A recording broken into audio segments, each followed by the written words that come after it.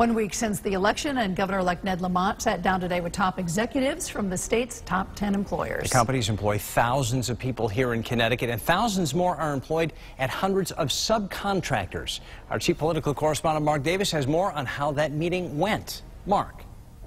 Hi, Karen and good evening, everyone from the Hartford newsroom. Yes, it was back-to-back-to-back meetings for the new governor today, meeting with municipal leaders from around the state at New Haven this morning and with the biggest of the big shots from Connecticut's biggest companies in the afternoon. The governor-elect met with the top executives from those 10 large companies at the iconic Travelers Tower in Hartford.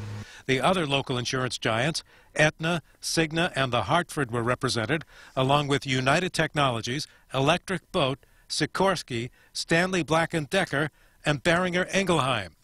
Those companies, from all of the major regions of the state, directly employ about 70,000 people in Connecticut.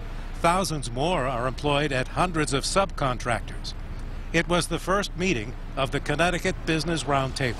I said, look, we're going to get our fiscal house in order. I need you at the table as well, believing in the state. And, um, and this is the beginning of a, a communication. And you're going to have a governor that listens to you. All through the election campaign, Lamont said he wanted to be a governor that helps to create new jobs and create a pro-business climate but he knows the best chance of making big changes will be in the first year. I know that, and I think they know that. And uh, they said, uh, we love this state, we want to grow in this state, we want to invest in this state. Fiscal, get your fiscal house in order, Connecticut, and we're on board. Joe Brennan is head of the state's largest business organization. He put the meeting together.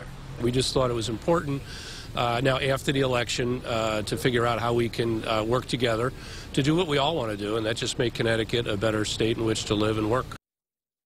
Now, the Connecticut Business and Industry Association that Brennan heads has been opposed to state mandates like increasing the minimum wage to $15 per hour and paid family leave.